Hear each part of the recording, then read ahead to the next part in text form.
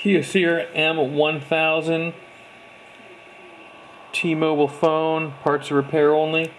You can see the hinge is kind of flimsy. It is cracked right there. Uh, I've got the battery in it presently. I'm going to go ahead and hit the power button, show you what goes on when I hit the power button. Screen just flashes as I hold the power button down. And then it stops once I release the power button. Let's look at the inside of it.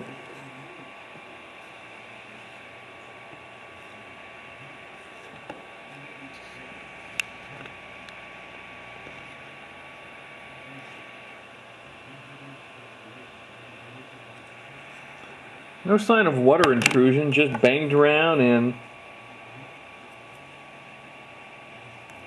wore out, I guess. Uh, if you need it for parts or can get it working, phone is sold as is. Thanks very much for taking a look.